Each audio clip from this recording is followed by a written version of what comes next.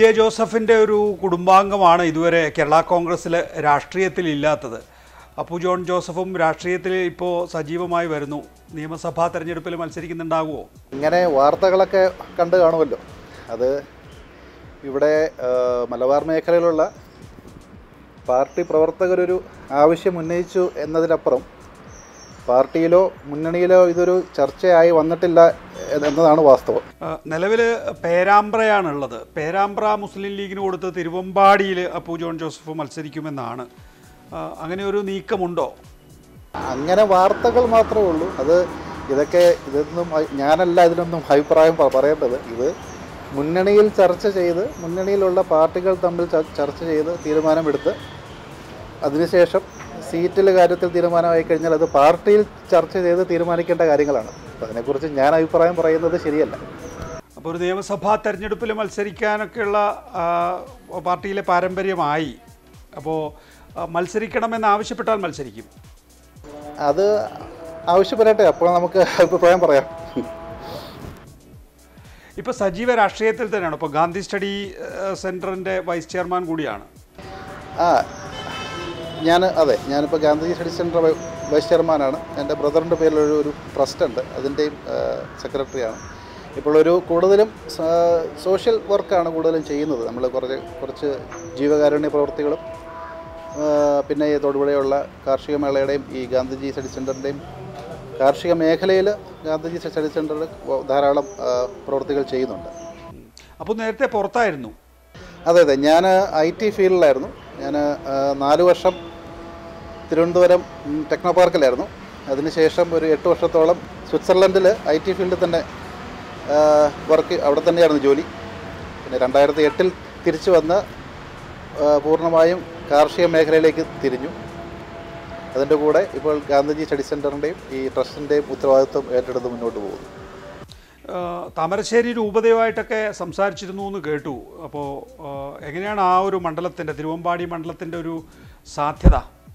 ഇല്ല താമരശ്ശേരി രൂപതയുമായിട്ട് നമുക്ക് നേരത്തെ തന്നെ ബന്ധമുണ്ട്. ഈ കഴിഞ്ഞ ഉരുൾപൊട്ടലുണ്ടായപ്പോൾ താമരശ്ശേരി രൂപത പതിനഞ്ച് പേർക്ക് വീട് വയ്ക്കാനുള്ള സ്ഥലം സൗജന്യമായിട്ട് കൊടുത്തു.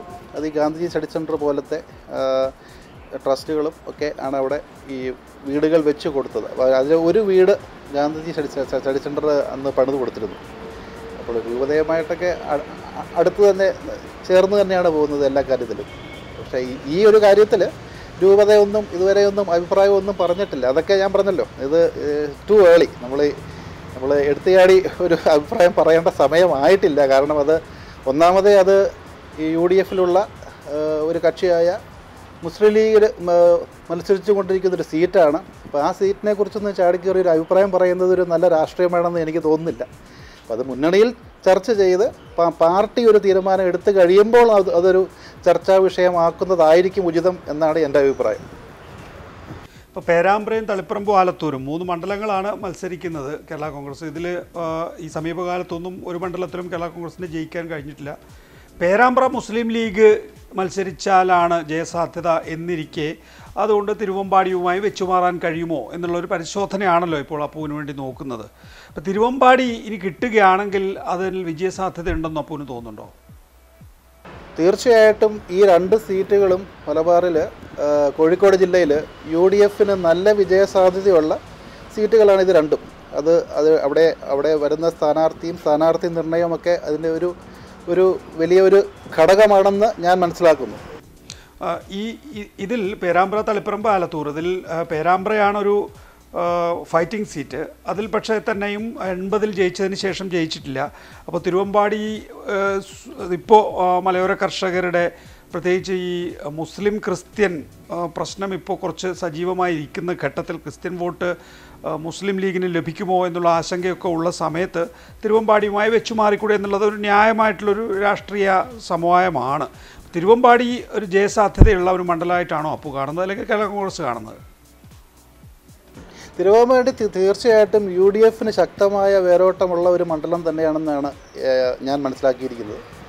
അതുപോലെ പേരാമ്പ്രയാണെങ്കിൽ പോലും അവിടെയും യു ഡി എഫിന് നല്ല സാധ്യതയുള്ള ഒരു ഒരു മണ്ഡലമാണ്. ഇവിടെയെല്ലാം ഇതൊക്കെ മുന്നണിയിൽ ചർച്ചകൾ ചെയ്ത് സീറ്റിന്റെ കാര്യത്തിൽ ഒരു തീരുമാനം എടുത്ത് ഒരു ഉചിതമായ തീരുമാനം എടുത്തു കഴിഞ്ഞാൽ തീർച്ചയായിട്ടും മലബാർ മേഖലയിൽ യു ഡി എഫിന് നല്ലൊരു നേട്ടമുണ്ടാകും എന്ന് തന്നെയാണ് എന്റെ എന്റെ വിശ്വാസം. എന്തുകൊണ്ടാണ് കോട്ടയത്തോ ഇടുക്കിയിലോ കേരള കോൺഗ്രസിന്റെ തട്ടകങ്ങൾ എന്നറിയപ്പെടുന്ന രണ്ട് ജില്ലകളാണല്ലോ? ഈ രണ്ട് ജില്ലകളും മാറ്റി നിർത്തി മലബാറിലേക്ക് പോകുന്നത് വടക്കൻ കേരളത്തിലേക്ക് പോകുന്നത്? അല്ല ഞാനങ്ങോട്ട് വന്നിട്ടില്ലല്ലോ. ഇത് ഇതെല്ലാം ഇപ്പോൾ മീഡിയയിൽ വരുന്ന ഓരോ സ്പെക്കുലേഷൻസ് അല്ലേ? ഞാൻ ഇടുക്കിയോ അല്ലെങ്കിൽ കോട്ടയമോ മലബാറോ ഒന്നും ഇവിടെ ഒരു സ്ഥാനാർത്ഥിയാകുവാനുള്ള ഒരു തീരുമാനം പാർട്ടി ലെവലിലൊന്നും ഇതുവരെ ഒരു ചർച്ചയ്ക്ക് പോലും വന്നിട്ടില്ല. ഇത് ഇവിടെയുള്ള മലബാറിലുള്ള ചില പാർട്ടി പ്രവർത്തകർ അവരുടെ ആഗ്രഹം അറിയിച്ചു എന്നതാണ്. അത് ഒരു വാർത്തയായിട്ട് വന്നു. അതപ്പോൾ ഒരു വാർത്തയായിട്ട് വന്നപ്പോൾ തീർച്ചയായിട്ടും ഒരു പി ജെ ജോസഫ് എന്ന ഒരു വ്യക്തിയുടെ മകൻ രാഷ്ട്രീയത്തിലേക്ക് വരുന്നു എന്നുള്ള രീതിയിൽ മാധ്യമങ്ങൾ അതിനെ ഒരു വാർത്തയാക്കി പ്രസന്റ് ചെയ്തു എന്നതാണ് ഇതിലുള്ള വാസ്തവം. അത് പാർട്ടിയിൽ ഒരു ചർച്ച വന്നിട്ടില്ല. അതുകൊണ്ട് തന്നെയാണ് ഞാൻ ഇതിനെ കുറിച്ച് ഒരു എന്ന് പറയുന്ന ഒരു അഭിപ്രായം പോലും ഞാൻ പറയാൻ ആഗ്രഹിക്കാത്തത് അതുകൊണ്ടാണ്. പി ജെ ജോസഫ് നേരത്തെ ആദ്യം ചൂണ്ടിക്കാണിച്ചതുപോലെ എല്ലാ കേരള കോൺഗ്രസ് നേതാക്കളുടെയും മക്കളാണ്. ആ, പാർട്ടിയിൽ സജീവമാവുകയല്ല ചെയ്തിട്ടുള്ളത്. ആ പാർട്ടിയെ പിന്നീട് ടേക്കപ്പ് ചെയ്തിട്ടുള്ളത് ഈ മക്കളാണ്. ഇപ്പോൾ സമീപകാലത്ത് തന്നെ നമ്മൾ ആദ്യ കാലഘട്ടത്തിലെ നേതാക്കളെല്ലാം ഇപ്പോഴും സജീവ രാഷ്ട്രീയത്തിലുണ്ട്. ഇപ്പോൾ ജോസ് കെ മാണിയുണ്ട്. അതാ ഇപ്പോൾ പി സി ജോർജിന്റെ മകനും വീണ്ടും നിയമസഭാ തെരഞ്ഞെടുപ്പിൽ മത്സരിക്കാൻ ഒരുങ്ങുന്നു എന്ന് പറയുന്നു. ആർ ബാലകൃഷ്ണപിള്ളയുടെ മകൻ കെ പി ഗണേഷ് കുമാർ സജീവമായി കഴിഞ്ഞിരിക്കുന്നു. അങ്ങനെ എല്ലാ രാഷ്ട്രീയക്കാരുടെയും മക്കളാണ് ആ പാർട്ടി തന്നെ മുന്നോട്ട് കൊണ്ടുപോയിട്ടുള്ളത്. അപ്പോലും നിക്ഷിപ്തമായിരിക്കുന്നത് അത് തന്നെയല്ലേ? അതായത് അപ്പശൻ ഭക്തർ രാഷ്ട്രീയത്തെ ഒട്ടും പ്രോത്സാഹിപ്പിക്കാത്ത ഒരു വ്യക്തിയാണ്. ഇപ്പം അങ്ങനെ ഒരു വ്യക്തിയായിരുന്നെങ്കിൽ ഞാനൊക്കെ പണ്ടേ രാഷ്ട്രീയത്തിൽ വന്നേനെ. എന്നെ ഈ രാഷ്ട്രീയ കാര്യങ്ങളൊന്നും വീട്ടിൽ അങ്ങനെ അധികം ചർച്ചയും ചെയ്യാറില്ല. അപ്പോൾ അതായത് കേരള കോൺഗ്രസ് ജോസഫ് വിഭാഗത്തിന്റെ ഒരു കാര്യം എടുത്തു കഴിഞ്ഞാൽ കഴിവുള്ള യുവാക്കളെ വളർത്തിക്കൊണ്ട് വന്ന ഒരു കേരള കോൺഗ്രസ് വിഭാഗമാണ് കേരള കോൺഗ്രസ് ജോസഫ് വിഭാഗം. എന്ന് പറഞ്ഞാൽ മതി നമ്മൾ നോക്കിയാൽ മതി. ഇപ്പോൾ നമ്മുടെ പി സി ജോർജ് ഉൾപ്പെടെ അല്ലെങ്കിൽ ടി എം ജേക്കബ് ഉൾപ്പെടെ ഇപ്പോൾ മോൻസ് ജോസഫ് വരെ വന്ന് നിൽക്കുന്നു. എല്ലാ കഴിവുള്ള ചെറുപ്പക്കാരെ വളർത്തി അവരുടെ കഴിവിന് ഒരു പരിഗണന നൽകി പ്രൊമോട്ട് ചെയ്ത് കൊണ്ടുവരുന്നൊരു പാർട്ടിയാണ് കേരള കോൺഗ്രസ് ജോസഫ് വിഭാഗം. അത് പണ്ടും അങ്ങനെയായിരുന്നു ഇന്നും അങ്ങനെയാണ്. അതുകൊണ്ട് തന്നെയാണ് ഒരു വി ജെ ജോസഫിന്റെ മകൻ എന്ന ഉള്ള ഒരു ഏക മെറിറ്റിൽ ഞാൻ രാഷ്ട്രീയത്തിലേക്ക് വരുന്നത് അത് അപ്പച്ചൻ അതിനെ പൂർണമായും എതിർക്കും എന്നാണ് എന്റെ വിശ്വാസം. പക്ഷേ കഴിവ് തെളിയിക്കുകയാണെങ്കിൽ കഴിവുള്ള ഒരാളാണെങ്കിൽ എന്തുകൊണ്ട് രാഷ്ട്രീയത്തിൽ വന്നുകൂടാ എന്നൊരു ചോദ്യം അവിടെ അവശേഷിക്കുന്നു. പി ജെ ജോസഫുമായിട്ട് നിയമസഭയിൽ മത്സരിക്കുന്ന കാര്യം ചർച്ച ചെയ്തിരുന്നോ? ഇല്ല തീർച്ചയായും ഞാൻ പറഞ്ഞില്ല ഇങ്ങനെയൊരു ഇങ്ങനെയൊരു ചർച്ച പാർട്ടിയിൽ ഇതുവരെ ഉണ്ടായിട്ടില്ലെന്ന്. ഇതിപ്പം ഇവിടെ മലബാർ മേഖലയിലുള്ള പ്രവർത്തകർ അവർ പറയുന്നത് മലബാർ മേഖലയിൽ കേരള കോൺഗ്രസ് പാർട്ടിയിൽ നിന്നൊരു എം ഒരു എം എൽ എ ഉണ്ടായിട്ട് നാൽപ്പതോളം വർഷങ്ങളായി. അപ്പോൾ പാർട്ടിയെ മല ഈ മലബാർ മേഖലയെ ശക്തിപ്പെടുത്തുവാൻ വേണ്ടി പാർട്ടിയിലെ ഒരു അവർ തീർച്ചയായിട്ടും അവരുടെ നേതാവിന്റെ ഒരു മകൻ എന്നൊരു പരിഗണന നൽകി എന്നെ ഇവിടെ മത്സരിപ്പിക്കണമെന്ന് പാർട്ടിയിലെ പ്രവർത്തകർ ഒരു ആഗ്രഹം പറഞ്ഞതാണ്. അപ്പോൾ ആഗ്രഹം പറഞ്ഞത് വലിയൊരു വാർത്തയായിട്ട് വന്നു. അത് ഞാൻ പറഞ്ഞില്ല അത് പാർട്ടിയിൽ അത് ചർച്ച ചെയ്യണം. അതൊന്നും കാരണം ഞാനൊന്നും ഇങ്ങനെ ഒരു അഭിപ്രായം പോലും പറയാൻ പാടില്ല. കാരണം പാർട്ടിയിലെ ഉന്നതരായ നേതാക്കന്മാരുണ്ട് പാർട്ടിയിലെ ഒരു പാർട്ടിയുടെ നയിച്ചുകൊണ്ട് പോകുന്ന നേതാക്കന്മാരുണ്ട്. അവരാണ് പാർട്ടിക്ക് വേണ്ടി തീരുമാനങ്ങൾ എടുക്കേണ്ടത്. അപ്പോൾ ഈ ഒരു ഈ ഒരു അവസരത്തിൽ പാർട്ടി പ്രവർത്തകർ ഒരു ആഗ്രഹം പറഞ്ഞു. ഇനി അത് മുന്നണിയിലും പാർട്ടിയിലൊക്കെ ചർച്ച ചെയ്ത് അത് എങ്ങോട്ട് പോകുന്നു എന്ന് നമുക്ക് നോക്കി കാണാം. എങ്ങനെയുണ്ട് ആ മേഖലയിലെ ഒരു ആവേശം കേരള കോൺഗ്രസ് ഇപ്പോഴും ഒരു വികാരമാണോ ഈ മലയോര മേഖലകളിൽ തീർച്ചയായിട്ടും കേരള കോൺഗ്രസിന് ധാരാളം എന്തു പ്രവർത്തകരുള്ള മേഖലകളാണ് ഈ മലബാറിലെ കുടിയേറ്റ മേഖലകൾ. അതിലൊരു ഭൂരിഭാഗം ആളുകളും ഈ പറഞ്ഞ പോലെ മധ്യ തിരുവിതാംകൂറിൽ നിന്ന് പഴയ കാലത്ത് ഈ മലബാർ മേഖലയിലേക്ക് കുടിയേറ്റി അല്ല കുടിയേറി താമസിക്കുന്ന കർഷകരാണ്. അപ്പോൾ ആ ഒരു ബെൽറ്റിൽ തീർച്ചയായിട്ടും കേരള കോൺഗ്രസിന് നല്ല വേരോട്ടമുള്ള ഒരു മണ്ണാണ്. അവിടെയുള്ളവർക്ക് തീർച്ചയായിട്ടും മലബാറിലുള്ള രാഷ്ട്രീയക്കാർക്ക് ഈ മധ്യതിരുതാംകുള്ള രാഷ്ട്രീയക്കാരെക്കാളും കൂടുതൽ ആവേശമുള്ള രാഷ്ട്രീയക്കാരാണ്. അത് നികേഷനും അറിയാം. അപ്പം ആ ഒരു ബാക്ക്ഗ്രൗണ്ടിലാണ് ഇവിടെയുള്ള ആളുകളൊക്കെ ഇതിനെ കാണുന്നത്. അല്ല അങ്ങോട്ടേക്ക് പോകുമ്പോൾ ഒരു കേരള ഒരു പാർട്ടിയുടെ സംഘടന ഉണ്ടെങ്കിൽ മാത്രമല്ലേ നമുക്ക് ഇലക്ഷനിലൊക്കെ മത്സരിച്ച് ജയിക്കാനൊക്കെ കഴിയൂ. അത് നിലനിൽക്കുന്നുണ്ട്.